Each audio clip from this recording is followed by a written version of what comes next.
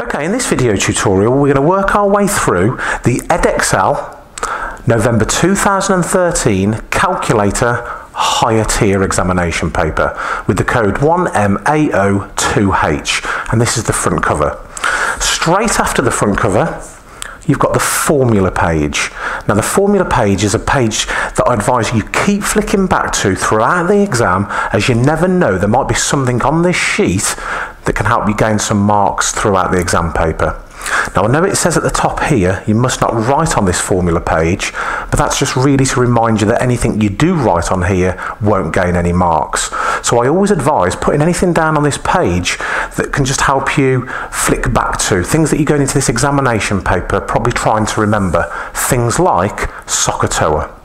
Some old horses can always hear their owners approach for trigonometry and then we've got our cherry pies delicious apple pies are too the circumference and area of circles, and anything else that you're going into that examination paper trying to remember, it's a great place to write down at the start.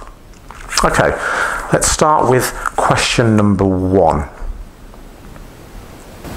Now, question number one is split up into two parts, part A and part B. And this question, this type of question, you can get support on with the top 40 clip number 33. The total marks is three marks split up into two for part A and one for part B. And it says use your calculator to work out this sum and they're asking us to use the calculator. They want us to write down all the figures on the calculator display and we've got to give our answer as a decimal. And that's giving us a bit of a hint that it's going to be a decimal number that's on our calculator display. Now the way I like to solve these is work out the top row first, write it down, work out the second row, write it down, and then use the divide line in between the two answers that we've just created. So the top row, if we bring the calculator in, is going to be the square root of 7056. So square root 7056, 84. So the top row, I'm going to put equals here, 84. On top of, let's clear off that calculator and work out this bottom row here. 0.35 times 12.8, 4.48. Now this line means divide, so I'm going to clear my calculator off and just do these two divided by each other. So clear the calculator off, 84 divided by 4.48, and that comes to 18.75. And that's my answer there for two marks, 18.75. A nice start to this exam paper. Now part B says write your answer to part A, this one here, correct to one significant figure. One significant figure is one number, one clear number. Now the problem is 18.75 doesn't really round to one number. So it's got to go to 20 where the 2 will class as the one significant figure and the 0 won't. So the answer to this one is 20 for part B. And again, question number one, using your calculator type questions, you can find support on the top 40 clip number 33. Right, let's move down to question number two, which is on the same page. Now again, question number two split up into two parts, part A and part B. Now part A is ratio, and we've got support on the top 40 clip 25. And for part B is percentages of an amount, and you can find support on the top 40 clip 27 for part B. So let's start with part A first. Pavel and Katie share some sweets in the ratio of 3 to 8. Katie gets 32 sweets. How many sweets does Pavel get? And that's worth two marks for this part A. Now the way I like to lay ratio out is by first having a letter, so P and K for the two names of the people. Underneath put the two ratios, and they go in that order, so 3 to 8, in the order of the names that are given here. Katie gets 32 sweets, so I'm going to put 32 just underneath Katie here, 32.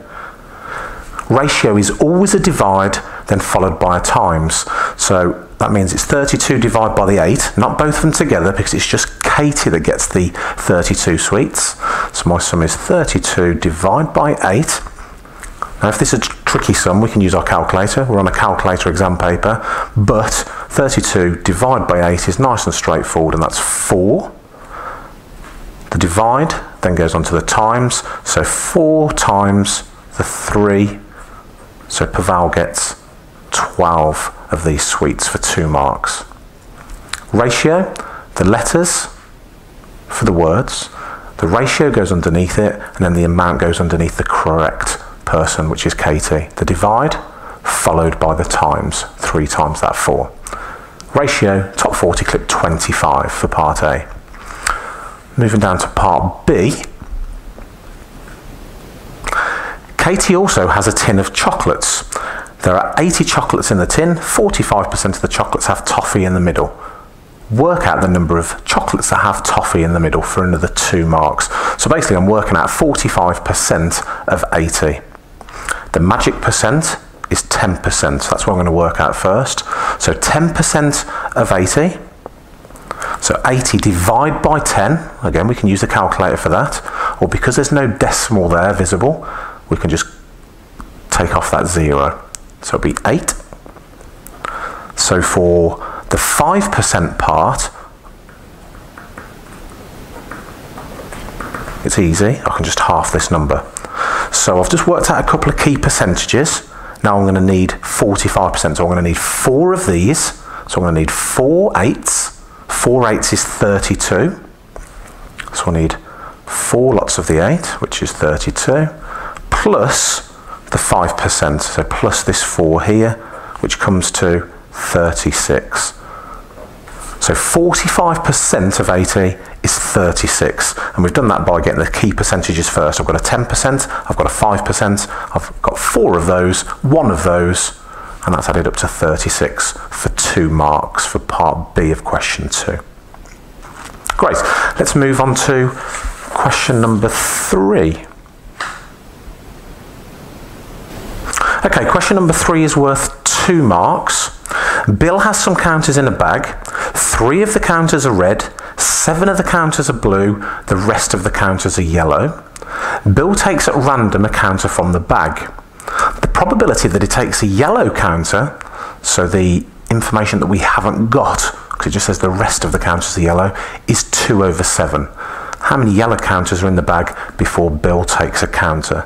So what I'm just going to do here, I'm just going to make a note. So red, there's three. Blue, there's seven. And yellow, we don't know how many there are. But I do know the probability is 2 over 7 of picking one of those. Now, the denominator of the probability when it starts off is going to be the amount that are there. Now this has been simplified down because if you think about it, there's seven blues and three reds, so there's 10 there, which is already more than this seven. So what I'm going to do, I'm going to try and enlarge, increase up this probability until the number on the bottom makes sense for the numbers that are possibly present in this bag. So if I double this up and just get an equivalent fraction, and it's easy just to do the double first, and we can always do more if we need to, but 4 over 14.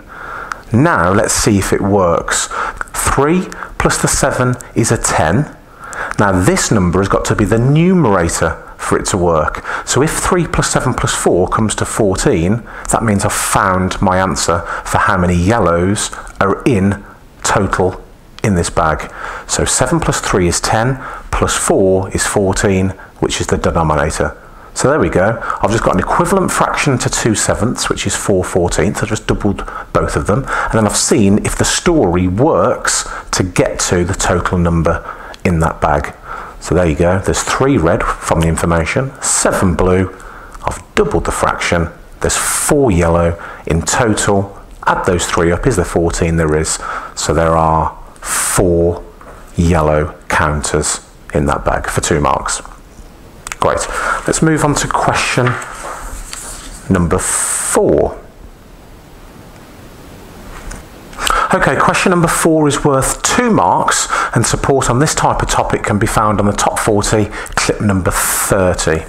So the diagram shows a solid prism and that's just this 3D shape here. There's an arrow pointing in this direction. On the centimetre square grid, draw the side elevation. Now this word elevation just means a 2D picture from the side. So it doesn't want a 3D picture, it wants a 2D picture from the side of the solid prism from the direction shown by the arrow. So they're telling us that that there is the side of this shape as you're looking at that direction. The front elevation would be that surface there. And the plan is the bird's eye view, what it looks like from the top as you look down. So the side elevation is here. So you're going to see these two surfaces directly on top of each other. And I'm going to draw it 2D flat on this grid. I don't have to choose anywhere in particular. I can put it on this grid wherever I want. So I'm going to see, first of all, this bottom part, 5 centimetres by 2 centimetres. So 5 across and 2 up.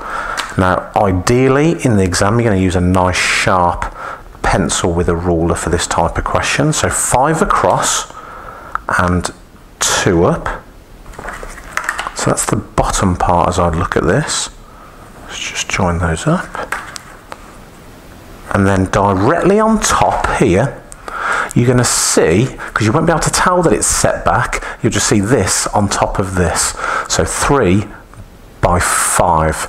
So it's going the same width, but it's going to go 3 squares high. So just add directly on top of what we've already drawn here, a further 3 centimetres or three squares because they're centimetre squares and join them up and that's worth two marks for the side elevation of this solid prism, this 3D shape. And again, top 40, clip 30 for support on those type questions. Okay, let's move on to question number five. Okay, question number five is worth three marks and support on this type of question can be found on the top 40, clip number 34. Now this is an exchange rate question. We're dealing with money in different currencies. Ben goes on holiday to Hong Kong. In Hong Kong, Ben sees a camera costing 3,179 Hong Kong dollars and 55 cents. In London, an identical camera costs 285 pound. The exchange rate, the important bit of information here, is £1 equals 12.30 Hong Kong dollars. Ben buys the camera in Hong Kong, so he's paying this amount. How much cheaper is the camera in Hong Kong than it is in London? So we're comparing these two prices. This is what is paid, this is what it is back in London, how much has he saved, buying it over there in Hong Kong dollars. Now, the only way to compare amounts is by having the same unit of currency. So we've got to change these Hong Kong dollars back into pounds to then compare the price against the London price. So I need to change 3179.55 back into pounds using this exchange rate here. So we're going to go from the Hong Kong dollars back to the pound, which is the one. When we go to the one, we divide. So when we're coming back to this 1, we divide. So I'm going to do 3179.55 divided by 12.30. 3179.55 divided by 12.30. It's a calculator paper, so let's put this straight in the calculator. Divide by 12.30, and that comes to 258.5. Now don't forget what we've actually just done. We've converted this amount here, Hong Kong dollars, back into pounds. So this is pounds. Now I know there's no zero on the end, but the calculators tend to do this. They chop off any unwanted zero. So this actually means 50 pence. 258 pound and 50 pence. So I'm going to put the pound sign in. 258 pound and 50 pence. So this is what it cost out in Hong Kong. We've now got two comparable amounts because they're both in pounds. And the question was, how much cheaper is it in Hong Kong than in London? So I'm going to do 285 and take away this amount here, £258.50 to see the difference between Hong Kong and London. And I'm going to write that down as well. So 285 take away £258.50. 285 minus 258.50 gives me 26.5 and again don't forget this is pounds so that's 26 pound and 50p 26 pound and 50p so we've converted this back to pounds coming back to the one we divided by the exchange rate That's the amount it is in pounds over in Hong Kong. We know what it is in London, and we worked out the difference, £26.50. And I'm just going to put this on the dotted line as well, £26.50 difference. And again, support for these exchange rate type questions, top 40, clip number 34. Right, let's move on to question number six. Okay, question number six, and I've actually started the layout already there, is worth four marks, and support on these types of questions can be found on the top 40, clip number one. Now, I've got loads of information up here in my words. Now, as soon as I see loads of information, one way of sorting through it is a two-way table and that's why I've started it already there for us. So we've got loads of information that I need to make sense of in order to work out how many adults study French and I've got loads of parts of bits of information. I've got a total what it's out of so I can put it all into a two-way table and what I'm trying to work out is how many of the adults studied French so I'm trying to eventually get to this answer here. So I'm going to just go through the information slowly and put it into my two-way table. Men, women, so we've got our gender, male and female, total, and we've got our subjects across the top, French, Spanish, German, and again, total. Total, total makes it the two-way table. The first bit of information is up in the actual starting bit of information there. So there are 130 adults at a language college. So that's total, total, 130 goes down here. And then we've got all these bits of information to add to it. Each adult studies one of French or Spanish or German. So there's my subjects going across the top. 96 of the adults are women. So that's the total women, so 96. I like to tick these off as I've used them. Now, before I'm going to read on, I can see here that I can work out the total number of men at this language college because if I know 96 are women and there's 130 in total that leaves me 34 men. Again this is a calculator paper so you can use your calculator to do these sums. 96 plus 34 comes to 130. 12 of the women study French so women, French, where that meets 12. 73 of the adults study Spanish. So that's not male or female, that's total. For Spanish is 73. So Spanish total 73. 55 of the women study Spanish, so Spanish women 55. Now again, before even reading on from this one, I can see that if I've got 55 women and 73 total, that means I can work out what's left over for the men. So 50, 73, take away the 55, will leave me 18. And then finally, nine of the men study German. So men, German, nine. I can see straight away again that I can work across here to get to 34. And I've got 18 and 9. So 34, take away the 18 and take away the 9. So we're taking away 27 away from the 34 leaves me with 7. 7 plus 12 going down is 19. So I've got the cell, I've got the square that I'm after here, 19, but I am going to finish off my two-way table and make sure everything works before assuming that this is correct. So I've got 12, 55, and I need to get to 96. So that leaves 29 left over. 29 plus 9, adding down there goes to 38. And yet again, this is on a calculator paper, so use your calculator to double check that going down adds up and going across also add up. So French total, which is the question that's actually asking, how many of the adults study French, is 19 that I want to put down here on my dotted line for my final answer. And yet again, support on these two-way table type questions can be found on the top 40, clip number one. Right, let's move on to question number seven. Okay, question number seven is a starred question. So that means you're going to get marks based on your quality of written communication, your QWC marks. The question's out of four, so at least one of those four is going to be for you to finish off with a sentence answering this question.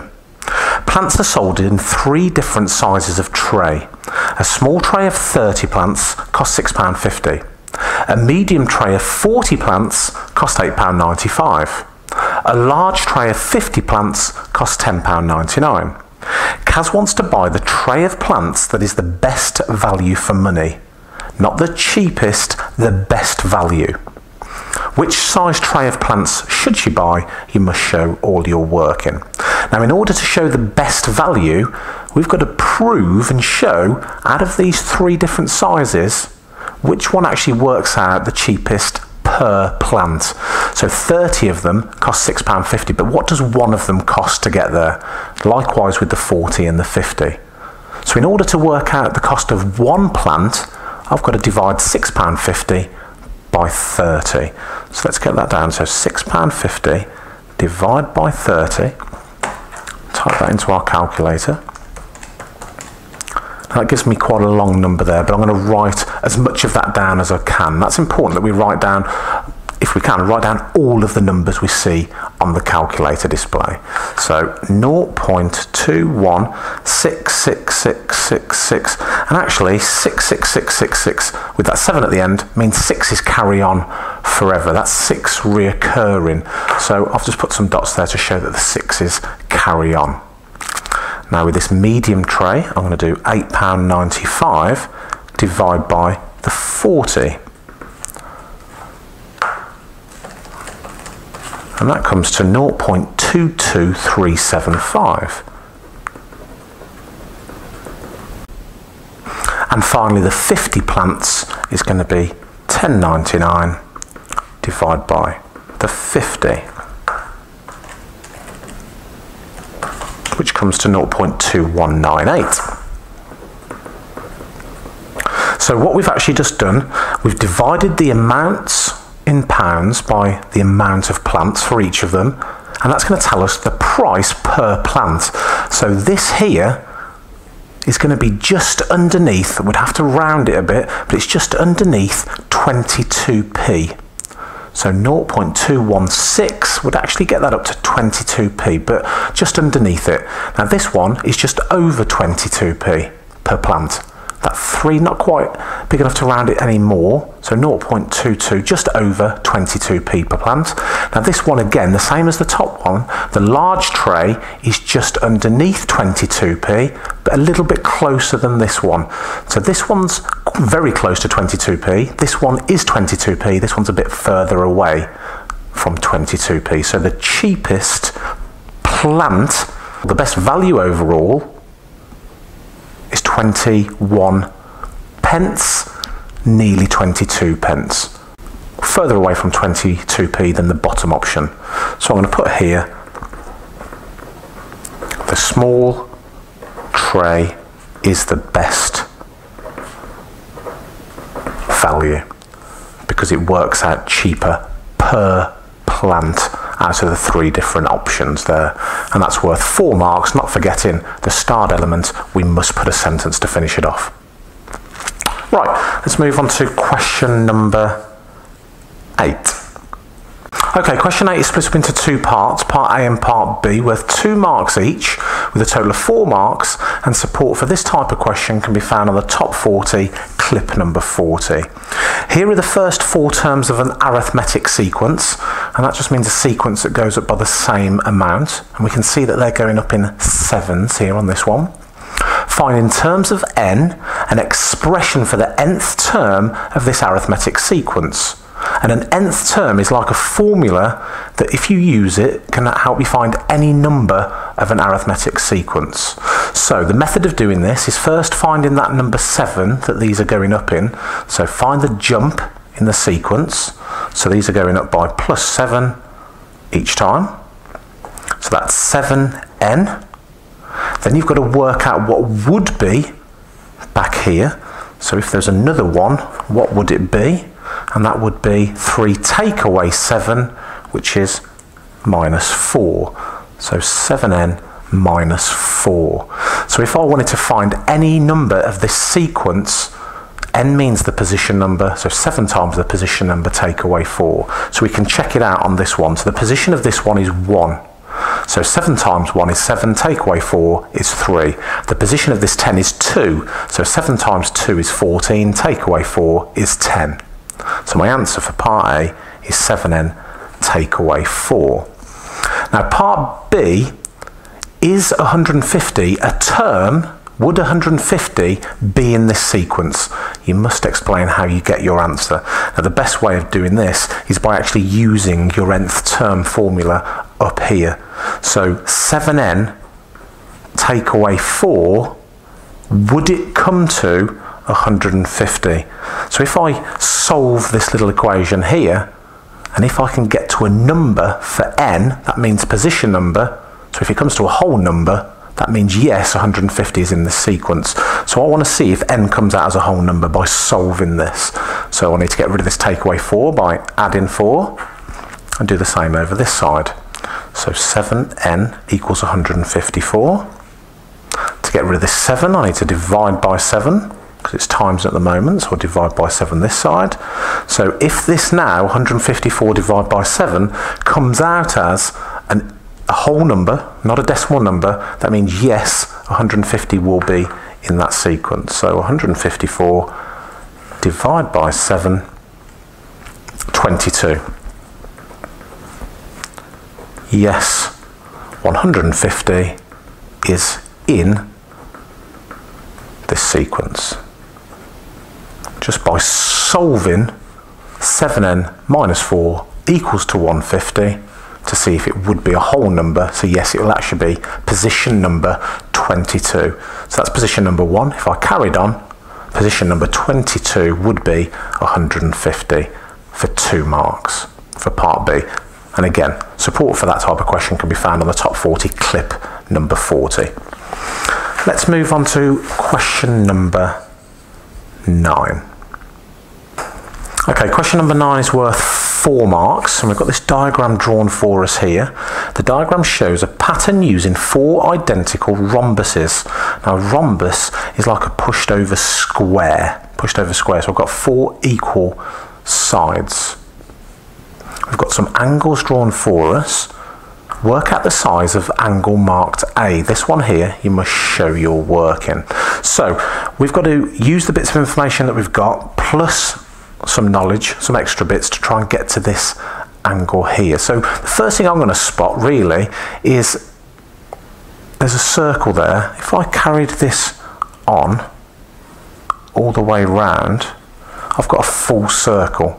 Now I've got four gaps of the circle, which are the 25s, and that adds up to 100. 25 plus 25 plus 25 plus 25 is 100 degrees. And then I've got these four gaps left over. So I can actually work out one of the angles of this rhombus here by doing 360 degrees, which is the full circle, take away this 100, and then divide it by 4. So the first thing I'm going to do, I'm going to write down here, is that 4 lots of the 25 degrees is 100 degrees. Then I'm going to do the 360 take away this 100, which is 260 degrees.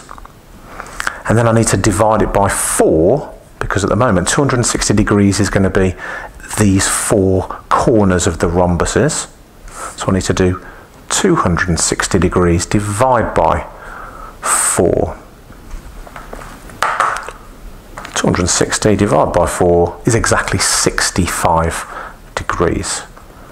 Now I'm going to draw that on the picture. I'm going to put that on the picture here. 65 degrees for each of these. Now, as I've put that on, it's made me spot that the opposite sides of these rhombuses, the angle there has also got to be 65 degrees. Because as you push over this square to make a rhombus, you're going to have equal opposite angles. So I'm going to put 65 degrees there. Now I'm not going to put it on all of, all of them because I only really want to deal in this rhombus. That's where A is. Now as soon as I put again these two numbers on, that means that these two opposite ones have also got to be the same. Opposite angles in a rhombus are going to be equal. Now it's a four-sided shape. It's a pushed over square if you like.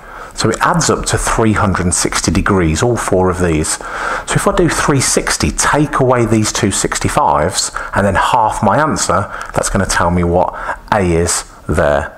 So I'm going to do 360 now, take away the two 65s,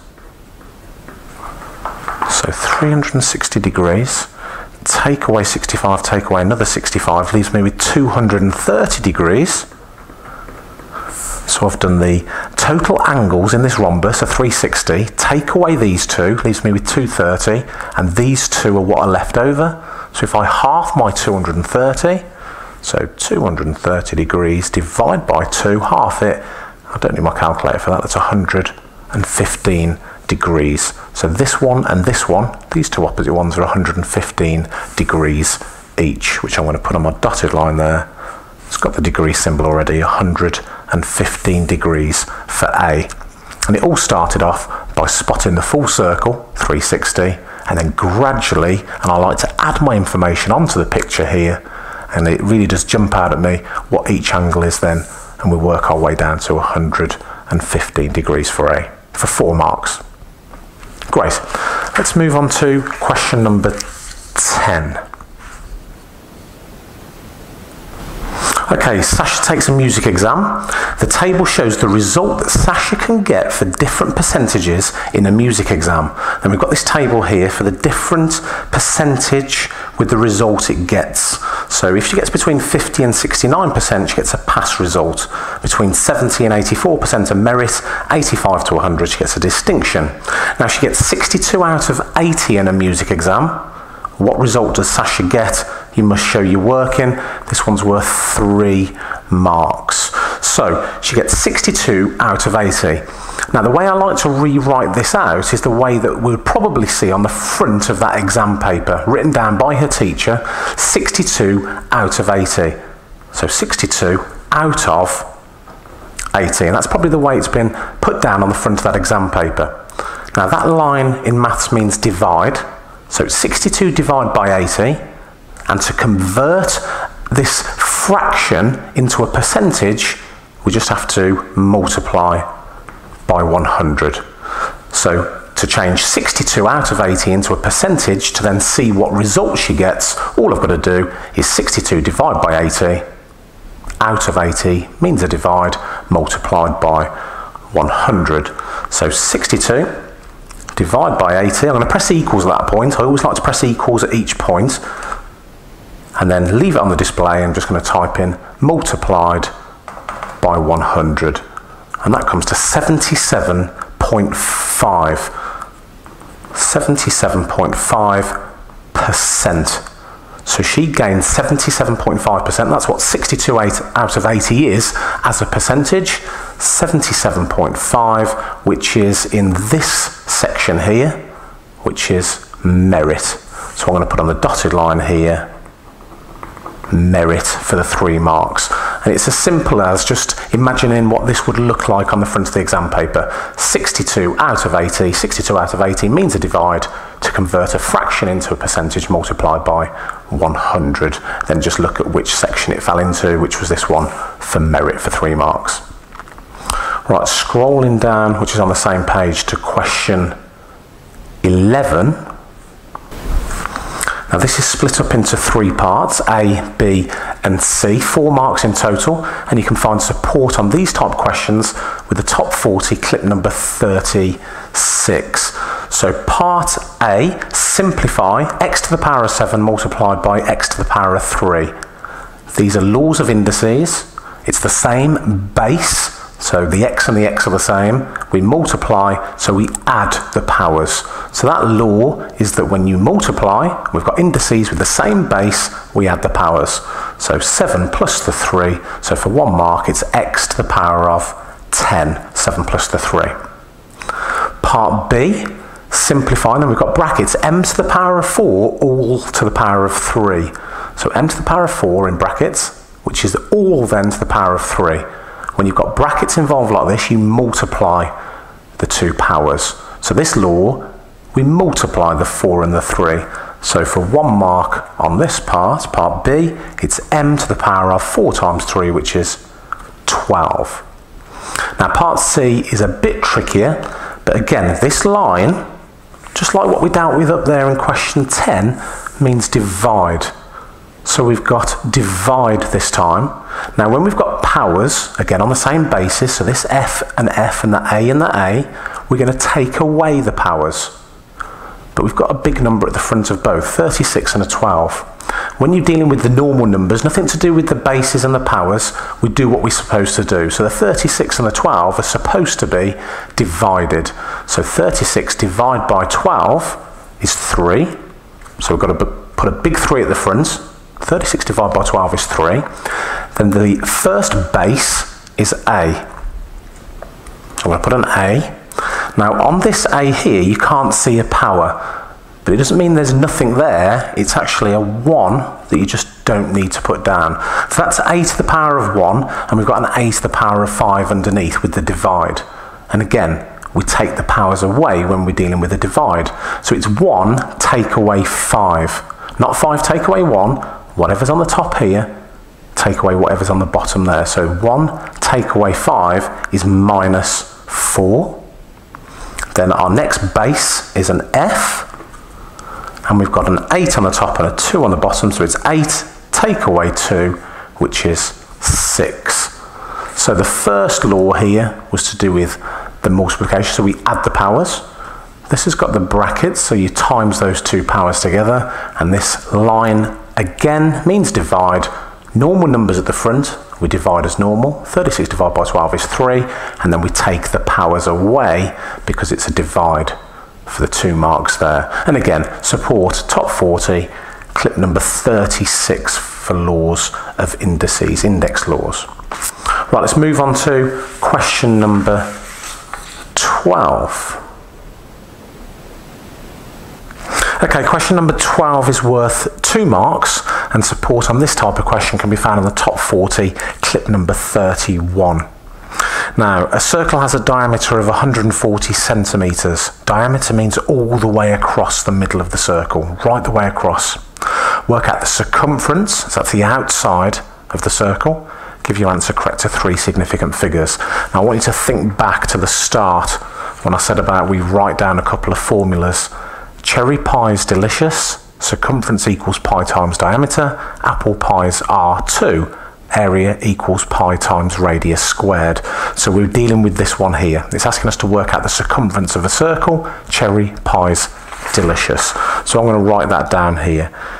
Cherry pies delicious. So the circumference of a circle is pi multiplied by the diameter. Diameter in this case is 140 centimetres. In our calculator, we need to make sure we find where pi is, and it's shift and that button down the bottom for me here. So I've got the pi symbol on there, times by 140. I'm going to write down all the numbers I see on the calculator display. 439.8229715 centimetres. And the question says, give your answer correct to three significant figures. So one, two, three, we start from the front, so it's those three, but I do have to check the next one number along. That's bigger than five, because 5 or above would shoot this up. So that is going to shoot that up to 440. So 440 centimetres for the circumference of this circle with diameter 140 centimetres from Cherry Pies Delicious. Again, top 40, clip 31 for support on that type question. Question number 13. Right, question number 13 is a start question again, so we've got to make sure we finish off with a sentence. Axel and Lethner are driving along a motorway. They see a road sign. The road sign shows the distance to junction 8. It also shows the average time drivers will take to get to junction 8. The information here, to junction 8, 30 miles, 26 minutes. The speed limit on the motorway is 70 miles per hour. Lethner says we will have to go faster than the speed limit to go 30 miles in 26 minutes. Is Lethner right? You must show how you got your answer, and this question is worth three marks. Now, what I'm going to use to help me with this is a formula that you may have seen in your maths or even your science lessons. It's speed equals distance divided by time. And we put that sometimes in these pyramids. So speed equals distance divided by time. So if I put it in this pyramid like this and then split up the three sections, so speed is equal to distance divided by time. So when they're on top of each other, it means it's a divide, and when they're next to each other, it's a times. And you cover up the one that you're trying to find. Now I'm trying to prove the speed that's involved to do this bit of information here and then compare it against the speed limit on the motorway. So the speed is distance divided by time. The distance is 30 miles and the time is 26 minutes. So if I use this formula and do distance divided by time, 30 divided by 26, the problem with that is that it's going to be miles per minute, not miles per hour. But then I can deal with that after and convert it into hours rather than minutes. So I'm going to use this formula first. Speed equals distance divided by time, 30 divided by 26. So the speed is going to be equal to distance divided by time. So I'm going to do 30 over 26. I'm going to pop that in the calculator. So 30 divided by 26. I'm going to write down the whole of that number on my answer paper. So I've got 1.153846154 and don't forget that is miles per minute. So I'm going to write that here. So that's miles per minute, not miles per hour. But the easy thing to do now is if this is miles per minute, we know there's 60 minutes in an hour. So all I've got to do is times this by 60. So 1.153846154 multiplied by 60 and that's going to give me what it is in miles per hour. And I've still got the number on the display, so just times by 60, 69.2307, so just underneath 70 miles per hour. So Lethna is actually incorrect. They won't have to go faster than the speed limit to do the 30 miles in 26 minutes. So I want to put all those numbers down first. 076923, and now that is miles per hour. And to finish off, again, we've got the star on this question. I've got to finish off with a little sentence. So, no, Lethna is incorrect. Now, there's several ways of being able to deal with this type of question, but I've gone for this method here by using the speed equals distance divided by time, realizing that distance divided by time is not going to be in miles per hour, but miles per minute but then do a quick conversion because there's 60 minutes in an hour to see what it is in miles per hour. And again, there's several ways of answering this question, but this is the way I've gone for on that to get the three marks, not forgetting the final sentence there to finish off because of the star question. Okay, let's move on to question number 14. Right, question number 14 is split up into three parts spread over the next two pages. We've got A, B, and on the next page, part C. So the total for question 14 is worth seven marks, and you can find support for all three of these parts on clips number 8 and 12 in the top 40. So it's over two clips for question number 14. Let's go back to the first page. The table gives information about the temperature T degrees centigrade at noon in a tan for 50 days. And then we've got this frequency table here, this grouped information. Part A, write down the modal class interval for one mark. Modal class, the most common one of these based on the frequency column. So the six temperatures that were in there. There's eight temperatures that are in there, 13 in there, 21 in this group and 2 in there. So the most common group is this one because there are the most frequency in that group there. There's 21 temperatures in there. My modal class interval, so I'm going to put that here, 20 T up to 24 for the mode. Part B, calculate an estimate for the mean. When it comes to tables, mean is when we times across estimate means I'm going to have to do a bit of guesswork as well. So there's six temperatures that are in there somewhere. between 8 and 12. Now I don't know where they are, so I'm going to guess, I'm going to say they're all at the middle of there. So right in the middle of that group. So if you add, and I need to add two extra columns onto this table to be able to do what I want to do. And the first extra column I'm going to call mid. So the midpoint of these groups, so between 8 and 12, right in the middle, is 10. Now if you find it tricky to work out the middle of two numbers, just add them together in the calculator, press equals and then divide by 2. So 8 plus 12 is 20, divide by 2 is 10. So add them together, press equals and divide by 2. Halfway between 12 and 16 is 14, then 18, then 22, then 26. Then we multiply across here, so frequency times the midpoint. So frequency times my midpoint for this column. Put equals there. 6 times 10, 60. Bit trickier for 8 times 14. 112. 13 times 18. 234.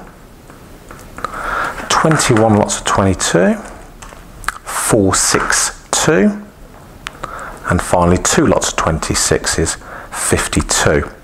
Now what I tend to advise is that we cross off our midpoint here, not so we can't see underneath, just so we remind ourselves not to use it again to add up anything for the estimate for the mean. So don't strike and colour it all out so you can't see it just put a line through it so it reminds us not to use that in terms of adding up. So we need to add up this column here now, our new column. So it's 60 plus 112 plus 234 plus 462 plus 52. That comes to a total of 920. Now that's the total and then I need to divide it by how many we're dealing with. And it's not one, two, three, four, five, don't forget, it's this number here, the 50 days. And if I want to, I could just do a quick check, and it's a good habit to get into, double check that this column, the frequency column, does add up to what it's given in the question, but also sometimes they won't give this number in the question, so add it up. So it's going to be 920 divide by 50 for my estimate for the mean.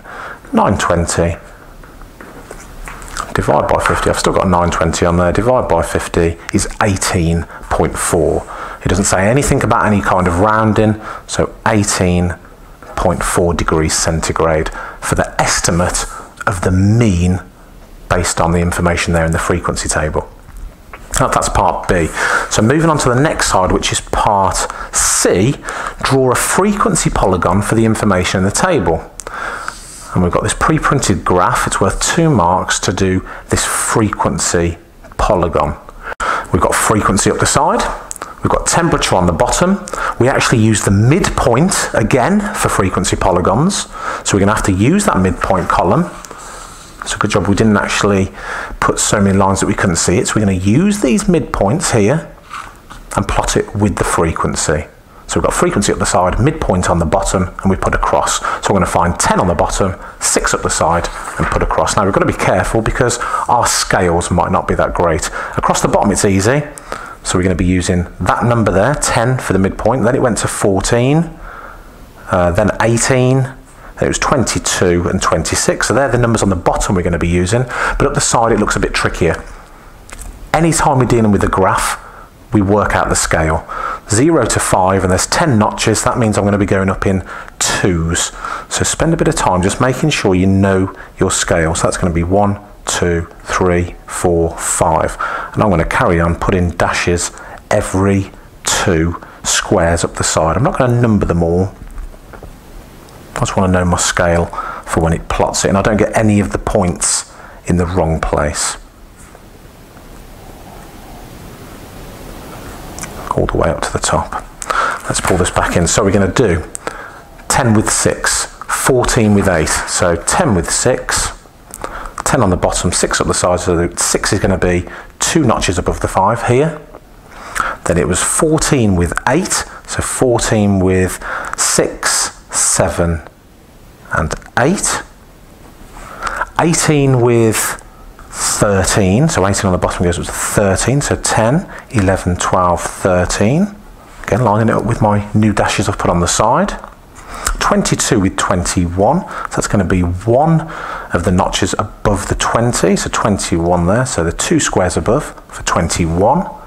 And then finally, 26 goes with 2. So 26, 1, 2, which is 4 squares.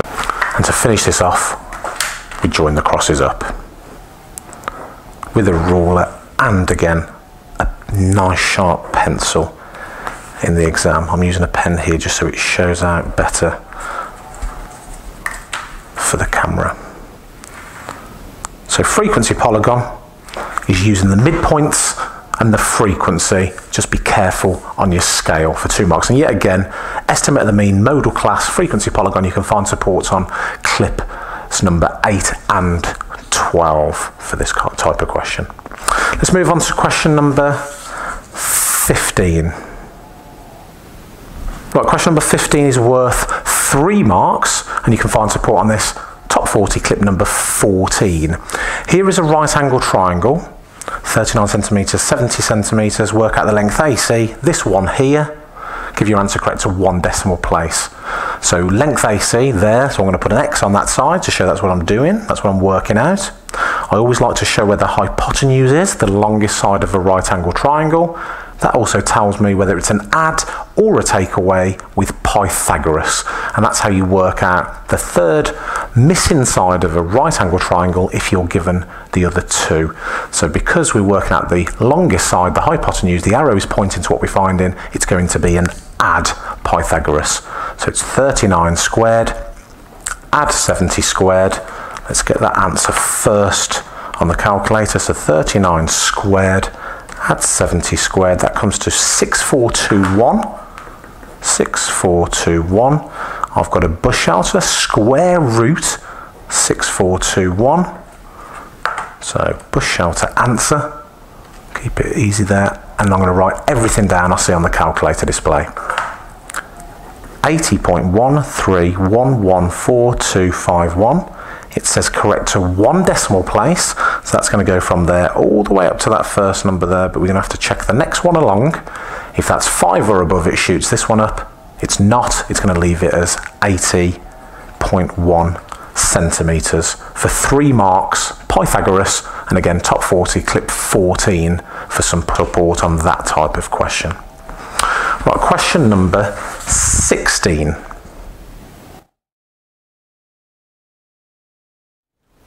Now question 16 split up into two parts, A and B. A is worth 3, B is worth 4, so a total of 7 marks for this question. Part A, solve. And I've got to work out the value of f that makes this work here for 3 marks. And I've got some brackets, so I know get rid of the brackets first by expanding.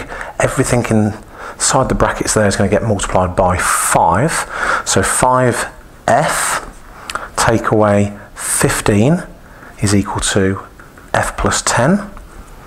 Now in order to solve it, I want to be able to work out f equals a number. So I want the f this side and I want the number this side of the equal sign. So this f's in the way here, that's a positive f, so I'm going to get rid of it by doing a takeaway f. Get rid of it, but I've got to do the same over the other side of the equal sign. Let's tidy that up. 4f, take away 15, that bit hasn't changed yet, equals, now that's gone, equals a plus 10 just a 10. We're getting a bit closer, but this minus 15 is on this side of the equal sign. And I want the number over here. So I need to get rid of a minus 15 by, again, doing the opposite. So I'm going to do a plus 15, gone, and do a plus 15 this side of the equal sign. So I'm down to 4f here, and now 25. This 4f means 4 multiplied by f. So to get rid of that 4, I'll do the opposite again divide by 4. They go, we've got to do the same the other side of the equal sign. So f equals 25 divided by 4. So on the calculator, 25 divided by 4 is 6.25 for 3 marks.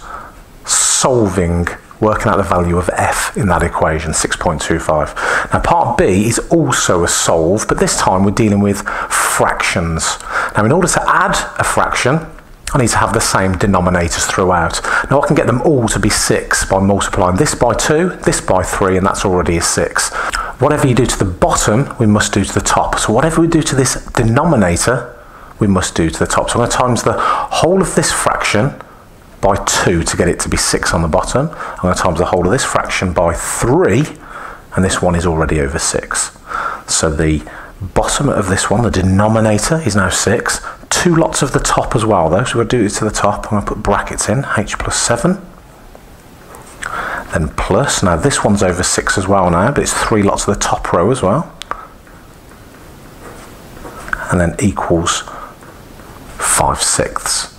In order to be able to solve this to work out the value of h, I've got to do a bit more tidying up first. I've got to expand these brackets like what we did up in part A. So I've got to do two lots of everything in there and three lots of everything in there. So 2h plus 14 over 6 plus 6h minus 3 for this part over 6 equals 5 sixths. Now because we've got the same denominator here, that means I can just add the top rows. So this now is going to be all over 6 equals 5 sixths. And I can just add the top row. So I've got 2h plus 6h, so I've got 8h. I've got 14, but a minus 3. So plus 14 and a minus 3 leaves me with plus 11. So I've got 8h plus 11 over 6 equals 5 sixths. Now we're getting a bit closer to being able to solve this now. Now because I've got fractions on both sides, I can cross multiply. Cross multiply means I can do this top times that bottom and that top there times that bottom over there. So six lots of all of this. So I'm going to introduce some more brackets. So six lots of 8h plus 11 is equal to six lots of 5, which is 30. Again, more brackets, so I've got to expand this again. So that 6 is going to multiply these two things now. 6 lots of 8h is 48h plus 6 lots of 11 is 66. And now we're at final stage of being able to, like we were up in the first part of this question, part A, we can solve this a little bit easier. So plus 66 is in the way. I want the numbers over here. So I'm going to do a takeaway 66. Do the same over here. So I've got 48h equals 30 takeaway 66. And we can use a calculator if we want to. That comes to minus 36 final thing to get rid of is, is this 48 that's multiplying the h. So I need to divide by 48, but I need to do the same over there. So finally, h is equal to this. And I'm going to put this in the calculator. Minus 36 divided by 48. And that comes to minus 0.75 for four marks. We had to make sure the denominators were the same before dealing with any of the normal solving parts, we had to get these over 6. Whatever we do to the bottom, we do to the top. Bit of expanding, then we can add the fractions, bit of cross multiplying, expanding again, and then straightforward solving to get it down to minus 0.75. Four marks for part B. Right, moving on to question 17.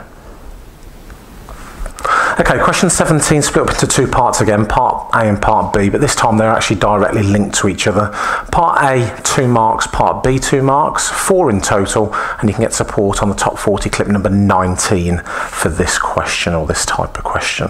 So part A is to complete the table based on this equation here, y equals x cubed minus 4x. Here's my values of x, and I've got to put those values of x into that formula there. So it's going to be 1 cubed take away 4 times 1, 2 cubed take away 4 times 2, and the same with the minus numbers. Let's just write that down for one of them here. I like starting with the positive numbers first, it's a bit easier. So it's 1 cubed take away 4 times 1. Now we can type that into a calculator, but I think it's quite a straightforward sum. 1 cubed is 1, take away 4, because 4 times 1 is 4. So 1 take away 4 is minus 3. Let's just show you that on the calculator. 1 cubed, take away 4 times 1, literally typed in as I said it, is minus 3. This one here is going to be 2 cubes, take away 4 times 2. 2 cubed is 8, 4 times 2 is 8, so it's 8 take away 8, it's a 0. And again, I'm just going to double check that on the calculator. 2 cubed, take away 4 times 2, 0. Now the minus numbers, more so with squares than cubes, but I always advise wrapping the minus number in brackets when you're dealing with powers. And uh, let me just show you what I mean by that one with this number here. So minus 2 in brackets, then cube it, take away 4 times minus 2. Now don't need to worry about brackets here, it's just around the powered ones. More so with squared, but it's a good habit to get into to make sure we don't get the wrong answer come out. Minus 2 wrapped in brackets, cubed, take away 4 times minus 2. And that comes to 0 again. The minus 3, so open a bracket, minus 3, close the bracket, cube, take away 4 times minus 3 this time, gives me minus 15. So there's my two marks for the first part taking care with the minus numbers there. Now part B, on the grid draw the graph of y equals x cubed minus 4x, which is this here, from minus 3 for x up to 3 for x. So basically the numbers are given in this table here. So it's saying plot these, and these are coordinates along the corridor up and down the stairs. So minus 3, minus 15. And we're just going to make sure we take care with our scale. Along the corridor, the x-axis is quite straightforward. Up the stairs, 1, 3. They're going to be halfway in the middle. So just be careful when we plot our odd numbers on the y scale. Minus 3, minus 15. Minus 3, minus 15 is actually going to be right in the middle down here minus 2 with 0, so along the corridor and on 0. Minus 1 with 3, minus 1 with 3, again an odd number so taking care there, so it's right in the middle between the 2 and the 4. 0, 0. 1 minus 3, minus 2, minus 3, minus 4, so there. 2 with 0, so along the corridor against 2 with 0. And 3 with 15. 3 all the way up to the top here nearly with 15 and there's our crosses. Now because it's a cubed we know this is going to be a curve. So we don't join these up with a ruler. It's a nice freehand flowing joining them up making sure not to miss any of these crosses out and kind of exaggerate these curves a little bit. Don't join them up so straight. Just bring the flow down. That's it. And then going up through this one and finally up to the very final cross there. And again we should be really using a pencil nice sharp pencil in the exam for that type of question. So part A was to actually get the coordinates part B plotting them four marks in total and again support top 40 clip number 19 for that type of question. Right question number 18 Okay, ABC is an isosceles triangle. ABC, two angles the same there, 54 degrees, and 12 centimetres going along the bottom. Work out the area of the triangle. Give your answer correct to three significant figures. The question's worth four marks, and you can get support on this type question with the top 40, clip number 15.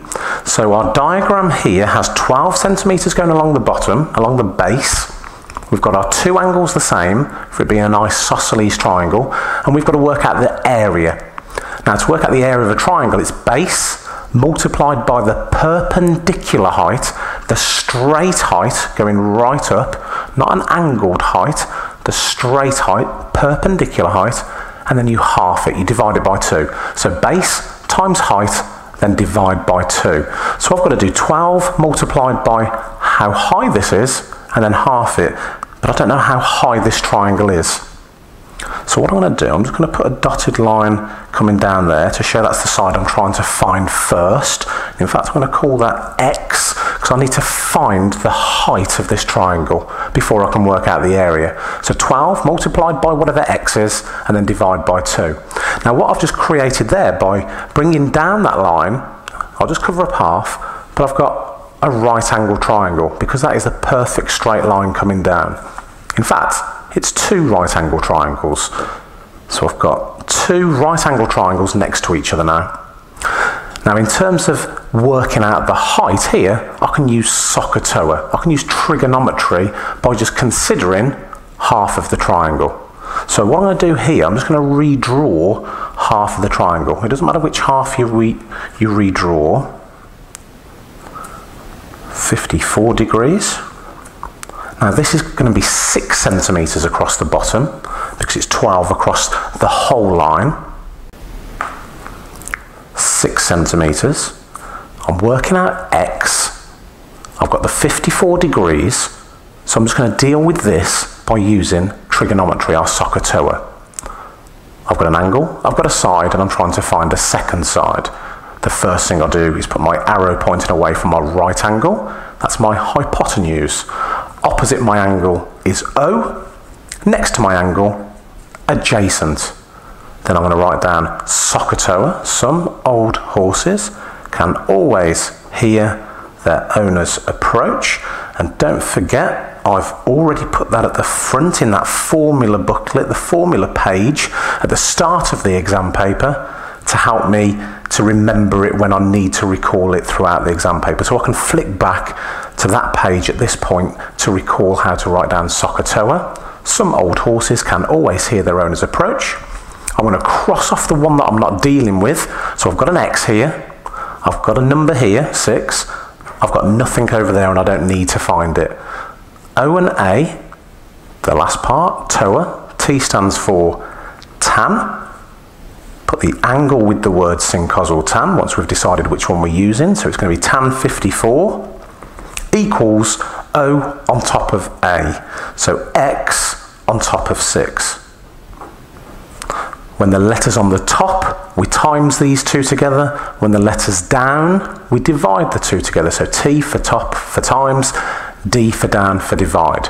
So wherever the letter is, it tells me what to do. So the letter's on the top, I'm going to times these two together. So it's six lots of this. So X is going to equal 6 times tan 54. Bring my calculator in. So 6 times tan 54 8.258291523. I'm going to write all of that number down.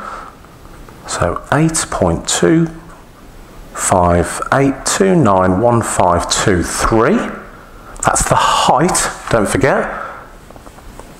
X, the height of this triangle. So the area is going to be 12 multiplied by this number and then divide by 2 because it's a triangle. So 12 times that number we've just worked out, divide by 2. Base times height, then half it. So I'm going to put here area equals 8.258291523 multiplied by the base, which was 12, so base times height, and then I'm going to divide it by 2.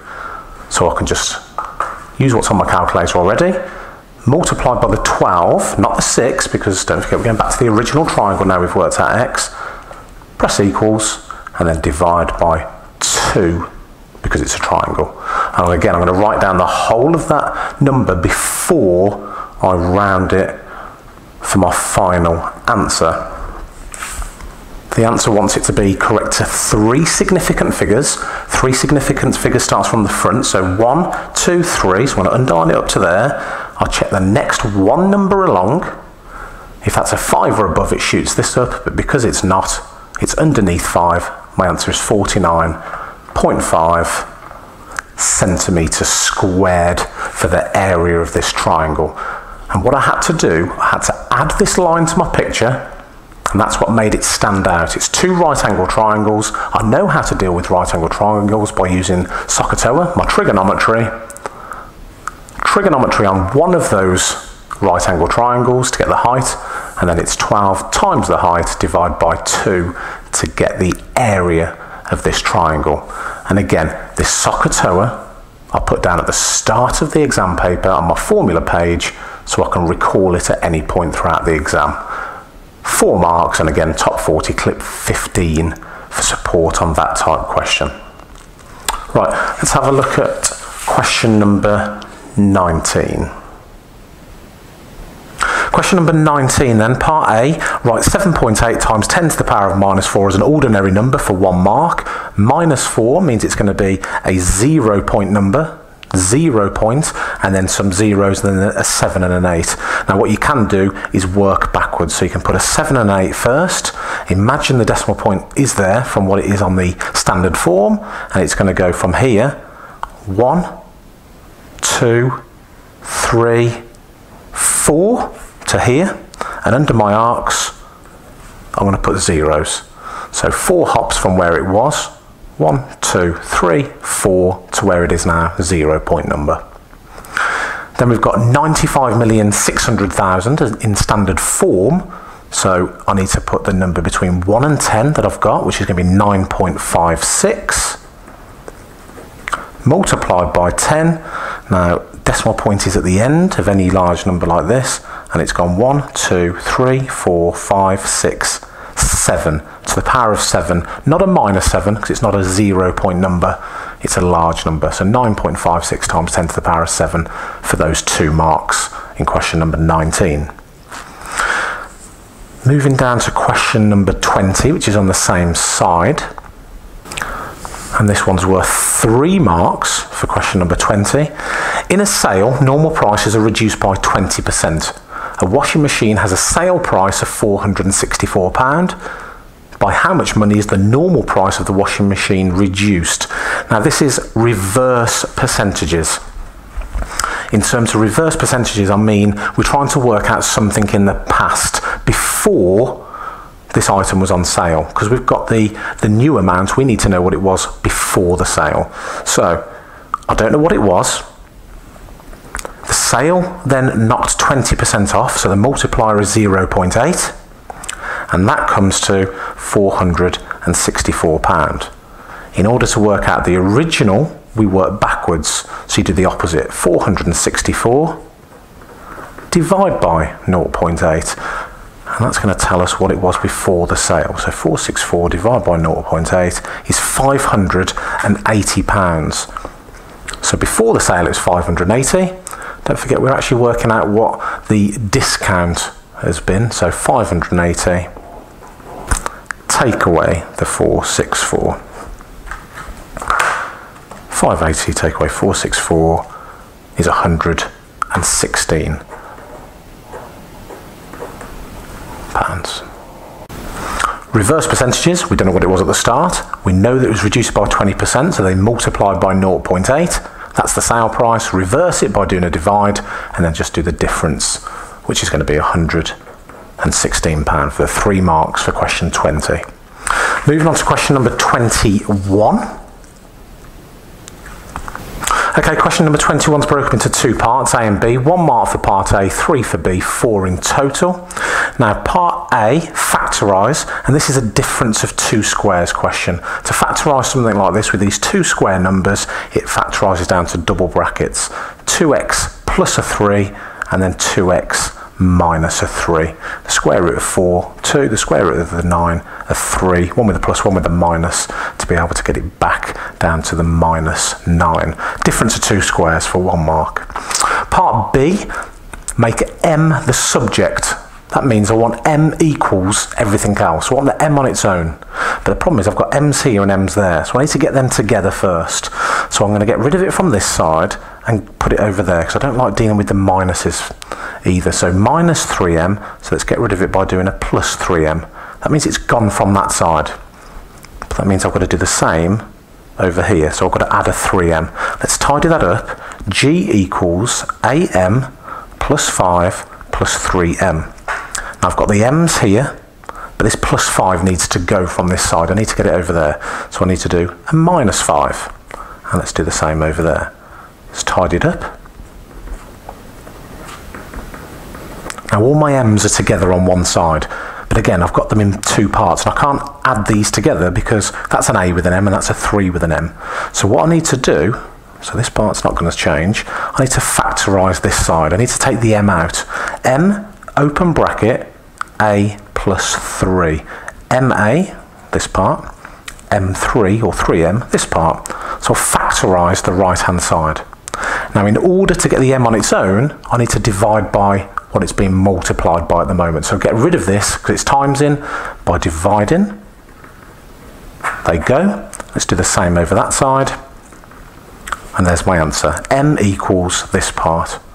So on my dotted line, just going to put it a bit neater. M equals G minus 5 all divided by A plus 3 for those three marks for part B of question 21. Making M the subject, M is now on its own there. Moving on to question number 22.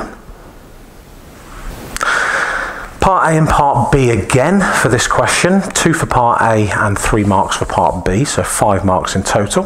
Then we've got this diagram of the trapezium. All the measurements are in centimetres. The area of the trapezium is 351 centimetres squared. Part A, show this. 2x squared plus x minus 351 equals 0. And they've given me this real key bit of information. The area of this trapezium is 351, which is visible here in what they're asking me to show. And this is worth two marks. Now this is where it's key again to keep flicking back to the formula page because here on the top right hand side is how to work out the area of a trapezium. A and B are the two parallel lines in a trapezium. So if we add those two together, then multiply by the height, and then half our answer, that's how you get the area of a trapezium. So I'm going to write that down in this question here. So I'm just going to put it over here. So area equals a half, open bracket, a plus b, all times by the h. So in this question, h is 2x, a is x minus 4, and b is x plus 5. Now I'm going to deal with the half part at the end. So hopefully it'll be quite straightforward and we just half everything that we see. So the area is going to be a plus b first, which is going to be this plus this. So I'm going to write this down first here. So x minus 4 plus x plus 5. Then if we multiply all that by the height, which is 2x, and then half it, it should come to 351.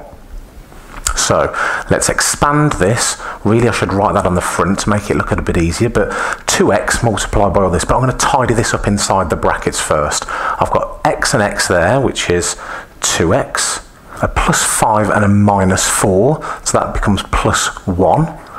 Now I am going to put that at the front to make my life easier. So I've got 2x, and I've got to multiply everything inside the bracket. So I'm going to have 4x squared plus 2x. And all of this, don't forget, equals the area, which is going to be 351. But first, I've still got my half, so I've got to half these. So now I'm going to multiply all this by that half. So I'm going to half everything. That's the easiest way to do this. So 4x squared is 2x squared plus 2x is now plus 1x. We've said this equals 351. And what they've asked me to do is show that 2x squared plus x minus 351 is equal to 0. So in order to get this to 0, I'm just going to take away 351 from this side, gone, but I've got to write minus 351 over on this side as well. So let's tidy that up for a final line of working equals 0.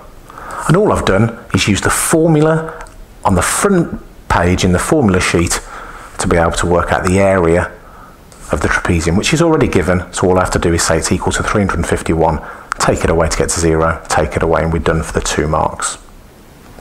Part B, work out the value of x. Now this is a quadratic equation, and I'm going to use the quadratic formula to solve this, and that is actually given, again, on the front formula page, the quadratic equation.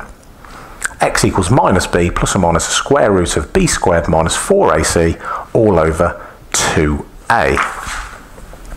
So I'm going to put that formula here. x equals minus b plus or minus the square root of b squared minus 4ac all over 2a. So a is the coefficient here, this one. So a is 2 b is the coefficient in front of the second part, the b, so it's 1. And c is minus 351. a, b, C. And I've got to put these three into here. So it's going to be minus that, so minus 1, plus or minus the square root of b squared, so 1 squared, minus 4 times that times that. So first of all, I've, I've just brought down the minus as it is there.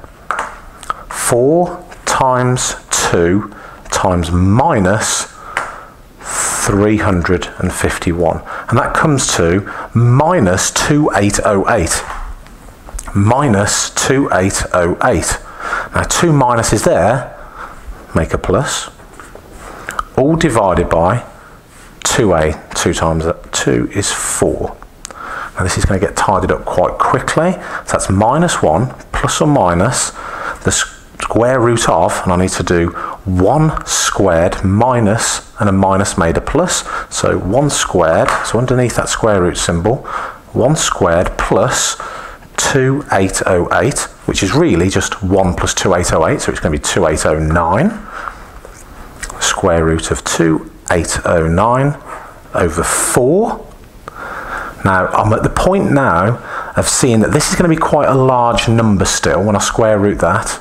Minus 1 plus this large number is going to be a positive number on the top, then divide by 4. Minus 1 take away this big number, and then divide by 4 is going to give me a negative answer. So I'm going to have one positive answer and one negative answer. And that's important when it comes to actually answer this in a second.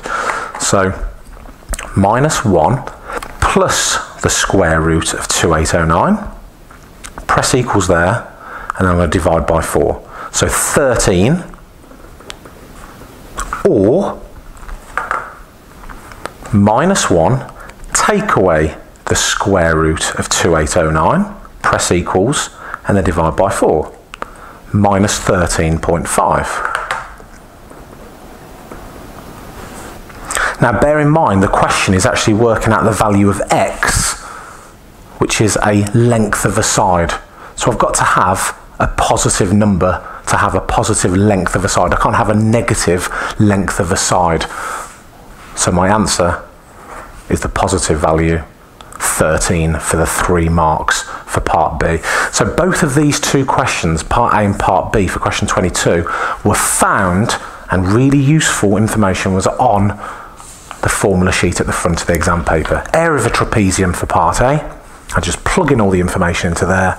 Then part B, the quadratic equation, the quadratic formula to get 13 for the value of x for the final three marks. Right, let's move on to question 23. Question number 23 is worth two marks and the table shows information about 1,065 students, we've got male, female and the different year groups. Eleanor takes a stratified sample of 120 students by year group and by gender. Work out the number of year 8 female students in a sample. And as you can see, I've circled that there, the year 8 female students, 134. Now what I need to do is work out the percentage that 134 is of 1065 this number of this number, what percentage that is, and then apply it to my 120. So I want the same percentage that this is out of the total for the 120 for this female year 8 to be part of my sample. So it's going to be a fair stratified sample. So first of all, let's see what percentage it is. So 134 out of 1065, and then to make it a percentage, we times by 100, like we did earlier on in the exam paper. So 134 divide by 1065, press equals at that point, and then times by 100 to make it the percentage. Now I know it's a nasty percentage, but we're going to write the lot down. 12.58215962%. And what we need now is 12.58, this number here, percentage of the 120 sample that she's choosing. And that'll be a fair reflection then of the year 8 females out of a sample as it's the same percentage as it is out of the total.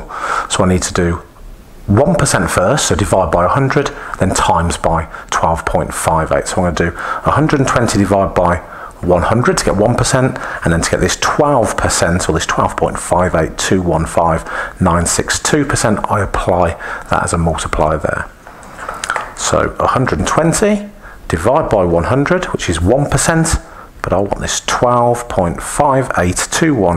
12.582156962, so I multiply by that, and that comes to, again, a long number, but we're going to write everything down, and that's how many people I need to choose out of the 120 sample to be a fair reflection of the year 8 females that was out of the original amount. Now I can't choose 15 point of a person. We need to look at this number and we can't round when we're talking about people. So I need to get 15 year 8 female students. So my answer is 15 purely because we can't round, so we're dealing with people. We can't have part of a person. Percentage that this represents and apply the percentage to the sample that we're taking, 15 people, for two marks. Moving on to question number 24. Question number 24 then is worth three marks. The diagram shows a large tin of pet food in the shape of a cylinder. The large tin has a radius of 6.5 centimetres and a height of 11.5 centimetres. A pet food company wants to make a new size tin, and the new tin will have a radius of 5.8 centimetres, so different to this one, but it will have the same volume. The space inside it will be exactly the same. Calculate the height of the new tin, give your answer correct to one decimal place for those three marks. Now, again, recapping the start of the exam paper, volume of the prism, 3D shape, where it's the same all the way along, is the area of the cross section multiplied by the length. So the volume of this cylinder is going to be the area of the circle at the top there multiplied by 11.5. So the area of the shape times by the length. Now the shape there is a circle, so again, something we put down at the start of the exam was our cherry pie delicious apple pies R2. Area of a circle is pi times radius squared. So we're going to first work out the area of this circle, which is going to be apple pies R2, which is going to be pi times 6.5 squared. So that's the area of this circle. So it's going to be pi times 6.5 squared. And I've got a long number there, but I'm going to put the lot down again. So 132.7322 to make the volume, it's the area of the cross section multiplied by the length. So I've got to do the area of the cross section multiplied by the length. So just keep that on the display, times by 11.5. So the volume, the volume of this large tin is 1,526.421331 centimetres cubed. So I'm going to write that now. So the volume equals 1526.421331 centimetres cubed. And they're telling me now that the volume of the new tin is the same. So it's going to be the same there but they want me to work out the height of the new tin. So let's think about what we've just done on the original one and apply it to the new one. The volume of the new one is going to be the area of the circle times by the height or the length, this one here, which comes to 1526, but we don't know the height. So it's going to be on the new tin, so I'm going to write new tin here. It's going to be pi times 5.8 squared times by the height, the new height that we don't know, but we do know that's going to come out as 1526.4213331. Now in order to work out the height, I need to get rid of these two. Now they're all times in, so to get rid of them, I need to divide To get rid of them like we've done several times already throughout this exam paper. But whatever we do one side of the equal sign, we've got to do over here as well. And that's how we're going to work out the height of the new tin. This number divide by this. Now I've still got that on my calculator display, so I'm going to press divide. I'm going to open a bracket, so I'm going to type all that in one go now. Pi times 5.8 squared, So it's divided by all of it, close my bracket, and there's the height of the new tin. I'm going to again write all this down. So 14.44337099 centimetres. The question says give your answer correct to one decimal place, which is up to there. The 4's not big enough to change it, so my answer is 14.4 centimetres for the height of the new tin. Again, by looking back and getting information from the very front formula sheet at the start of the exam. Right, question number 25. Okay, question number 25 is a starred, so we're going to get a mark for our quality of written communication again, and it's worth three marks for this question. A and B are straight lines. Line A has this equation, but line B, we don't have the equation, we've just got two points that it goes through do lines A and B intersect? So will they cross over? You must show all your working. Now the first thing I'm going to do is change that equation there for line A into the format that I prefer, which is called y equals mx plus c. So there's no number in front of the y, which there is at the moment. We've got a number in front of the x and then a number on its own. And then the m and the C are really important. The M is the gradient and the C is where it intercepts, it crosses over on the y-axis, this axis here. So to do that, I'm going to need to divide everything by 2 to get rid of the 2 there, to make it y on its own. So divide everything by 2, so that's going to come out as y equals, divide this part by 2, 1.5x, divide this side by 2 as well, plus 4. So all I've done I've just divided everything by 2 to have it in the format of y equals mx plus c, which gives me two bits of information, key bits of information. Then I've got this here, line B goes through two points.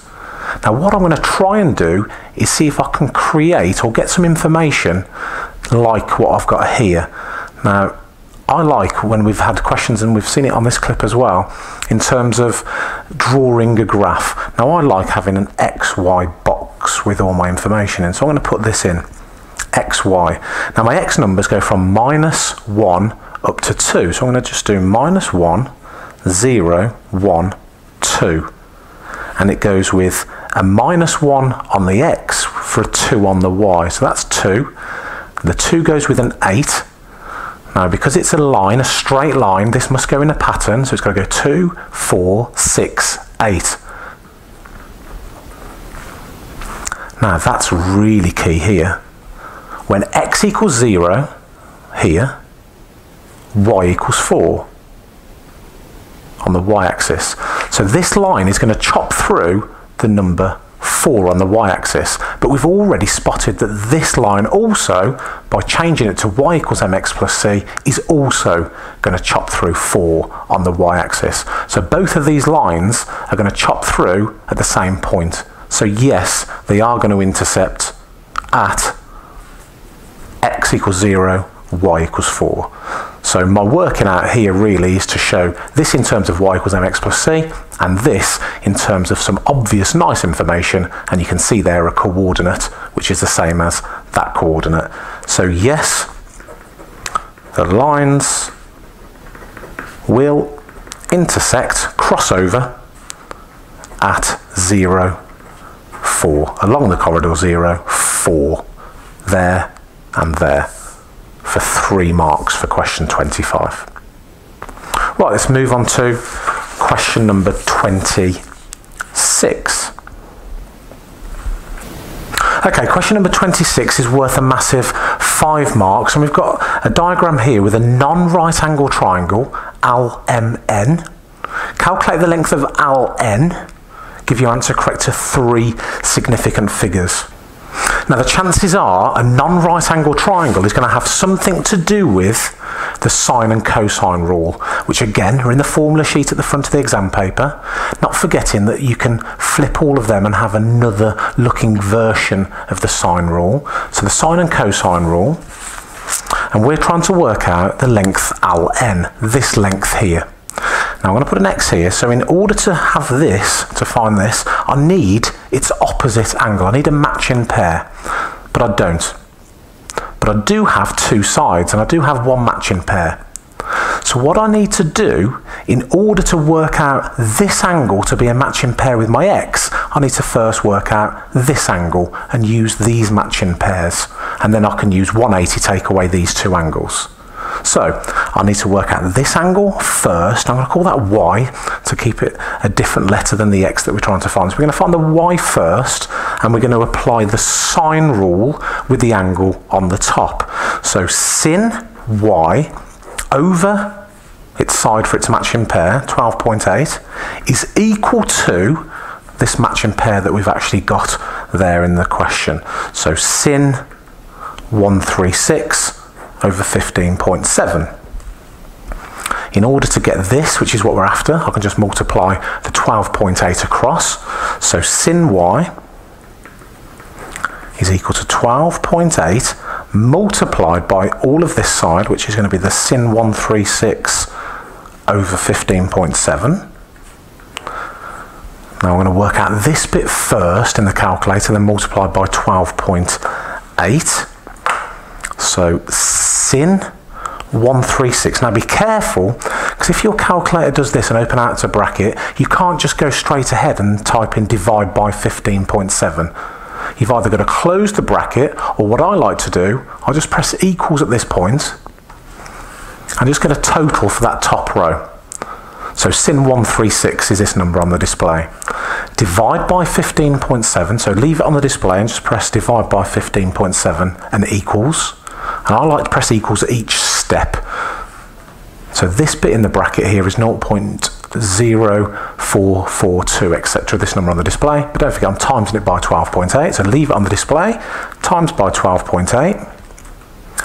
Sin y equals this number here. Let's type that, let's write that down. So sin y equals 0.5663456778. But don't forget, I'm actually trying to find y, not sin of y. So I need to type in sin to the minus 1 of this number.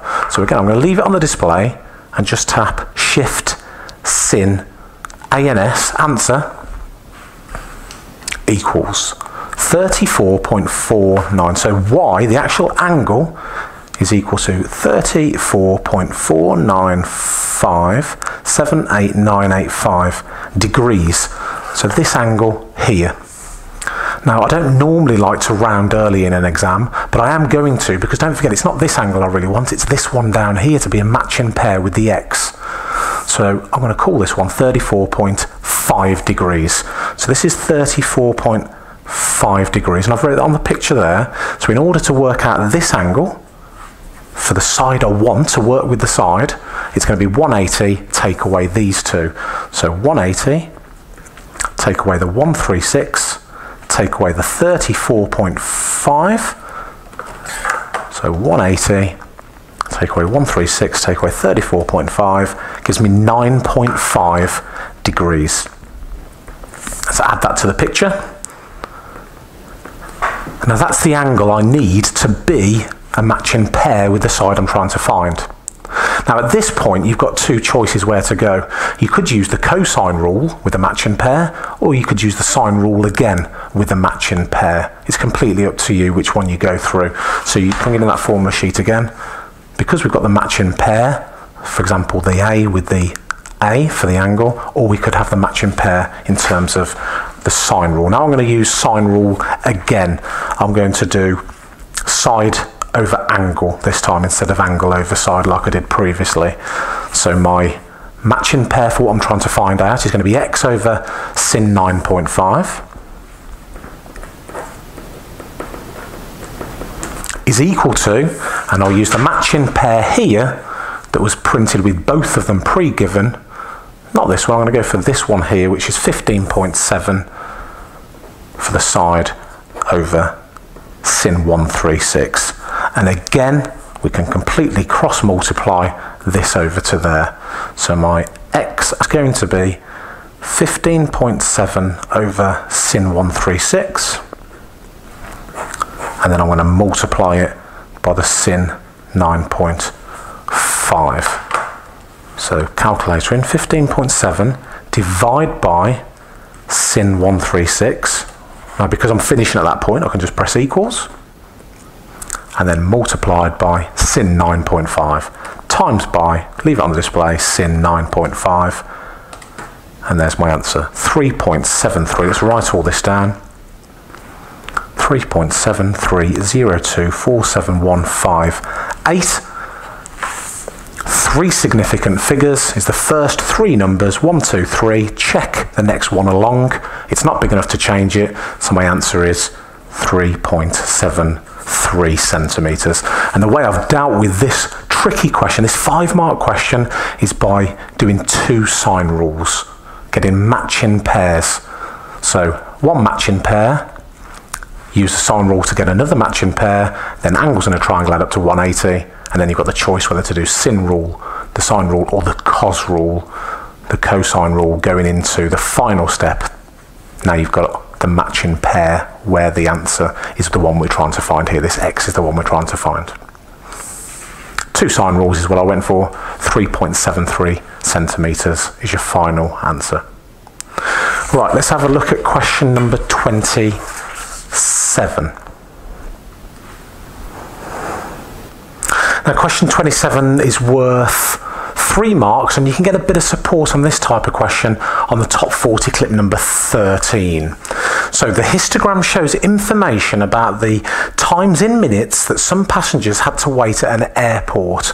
Then we've got our frequency density up the side, our time on the bottom and the classic histogram type look where you've got these different width bars across the bottom. Now don't forget, frequency density is not the frequency. The frequency is going to be actually the area of these bars. Work out the percentage of the passengers who had to wait for more than one hour. So if we look along the bottom here, time, we're actually going to be dealing with and looking at from here onwards up to there, so longer than one hour. Work out the percentage of the passengers, so we need to be looking at the frequency, the number of people who had to wait for more than one hour. So I need to know the areas of these bars because that will give me the frequency. That will be the number of people, so the area of that first bar will be the number of people that had to wait between 0 and 20 minutes. So the area is going to be the base times the height. So I need 20, because that's how fat the group is, the width of the group, multiplied by 12. Now I'm just going to turn my bars round this way for a second. I'm going to write my multiplications in the bars. So the width times the frequency density times the height is going to give me the area, which is the frequency. So 20 multiplied by 12. I'm going to work that out in each bar as well. So 20 times 12 is 240. So it's 240 passengers that had to wait between 0 and 20 minutes. The width of this group, 20 up to 30, so that's going to be 10 multiplied by the height of that that bar, so we've got to be careful on this one. It actually doesn't go to a nice number, so I've got to know my scale here. So 10 to 11, there's five notches, so it's going to be 0.2s, so that's going to be 10.8 up to this bar here, so 10.8. So 10 times 10.8 is going to be 108. This one is going to be 30 up to 45, so that's going to be 15, and that meets nicely at 7, so that's 15 times 7, and 15 times 7 is 105. This one is 15 again, because it's 45 up to 60, and it reaches up to 5. So that one's 15 multiplied by 5 this time. So 15 multiplied by 5 is 50, 67, 75. This bar, this wide bar here is going from 60 up to 90. So that's going to be 30 and it reaches up to one notch under 2, so that's 1.8. So this one's going to be 30 times 1.8 and that comes to 54. And this final one goes from 90 to 120, so that's 30, and it reaches up to 0.246, 0.6. So I'm just going to write it this way to keep it like all the others. 30 times 0.6 30 times 0.6 is 18. So what I've got here, putting it back this way, I've just worked out the areas of all of the bars. The width, the group width, multiplied by the frequency density gives me areas, which actually gives me the frequency. So that's how many passengers. So what I'm going to do now is just quickly work out what the total number of passengers was. So that's going to be 240 plus 108 plus 105 plus 75 plus 54 plus 18 105 plus 75 plus 54 plus 18 gives me exactly 600. So I've got 600 passengers in total. Now my question is work out the percentage of the passengers who had to wait for more than one hour. So these are the ones that had to wait for more than one hour. 54 plus 18. This section here. So 54 plus 18 is 72. So I'm going to write that first. So 54 plus 18 is 72. So 72 people had to wait longer than an hour. And my question is percentage. So 72 out of 600. So I'm going to write that 72 out of 600. And we've seen this a couple of times now over this exam paper. To make that a percentage, we times it by 100. So 72 divide by 600, press equals at that point, and then times by 100 makes it 12%. Put that in the dotted line as well, 12%. So what I've done, I've had to work out the actual number of people, the frequency, by using my knowledge that this is frequency density up the side. It's a histogram, so the frequency is actually the area. I've done the group width multiplied by the, the frequency density, the height to get the number of passengers for each section, the total. We're only dealing with here, these two, this area here, 54 plus 18 was 72, out of 600, make it percentage, times by 100. So it's 12% who had to wait longer than one hour for question number 27. And again, there's a bit of support in terms of understanding histograms on the top 40 clip number 13. Right, let's move on to the final question. Question number 28. Right, we've got a star on this question, so it means to get the full three marks, we are going to have to put down a sentence to finish it off. AOC, AOC, this line here, and BOD, this line here, are diameters of a circle. So they're telling me that those two lines are the same with centre zero. Prove that triangle ABD, ABD, this one, and triangle DCA, DCA, this one, the one that's overlapping, are congruent. So we've got to prove that these two are the same triangle. Now there's three ways of proving congruency. We've got ASA, which is angle side angle. So we've got to prove that two angles and a side are the same with these triangles. There's RHS, which is show right angles, prove the hypotenuse are the same, and then an extra side are the same. And then there's SAS, two sides and an angle. So prove two sides and an angle are the same in the two triangles. So you've got your options of which route to go through. And I'm going to choose RHS, right angle, hypotenuse, side. And the reason I'm choosing that is because I know of a circle theorem. When you've got the diameter of a circle and you go off and meet at the circumference, I know that it makes a right angle. That's a circle theory I know about. So I know for a fact, because that's a diameter, I know that this is going to be a right angle, and also the same there, I know that's going to be a right angle as well. So I need to, if I'm going to go for RHS, which is right angle hypotenuse side, I need to first prove R, which is right angle. So the first thing I'm going to do is number one, right angle. So I'm going to say then that angle BAD, BAD, so you could write BAD or you could put a little hat above the A, is equal to CDA. CDA. I'm going to put a hat above there. So you could write angle BAD equals angle CDA, or put the little hat above the middle letter there to show that it means the angle that we're talking about. But I've got to say why. Angles the circumference of a semicircle or something along the lines of these words, so the angle at the circumference in this semicircle are 90 degrees. So there's my right angle proof. I've said that those angles are the same. I've put it on the picture as well, and I've said, I've stated my circle theory. Angles at the circumference in the semicircle. And you can see it there at 90 degrees. So that's my right angle. Now I'm going to say something about the hypotenuse, and that's actually quite a straightforward one. The hypotenuse, the longest side of these two triangles, if you point your arrow out, are these two lines, AOC and BOC, which are, in the words here, the diameters of the circle. So I know they're the same. The hypotenuse of these two triangles are equal. It says there they're the diameters. So I'm going to say here that B to D, B to D equals C to A. And I'm going to put here underneath it, they are the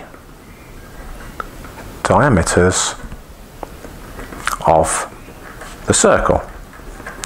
So I've done my right angle, I've now done my hypotenuse, and the third point of my RHS that I chose is side. So I've got to choose another side of these triangles. So there's that one that I could compare to that one, but I don't think I've got any information on there. But look at the bottom. The bottom of this side triangle is also the bottom of that one. So they've got to be the same because they are a shared side. So I can put that down as my final point. So A to D, AD is the shared side. A to D is the shared side of the two triangles. And I've proved right angle, hypotenuse, and side. So I'm going to put in words just to finish it off. So A, B, D and DCA are congruent because of RHS. Right angle, hypotenuse, side. And again, we could do different routes to get there, ASA or SAS, but we've gone for, on this question, I've gone for right angle, hypotenuse, and side. And there's my three points for the three marks in total there for question number 28. I hope you've done well on this Edexcel calculator November 2013 exam paper. Well done and good luck.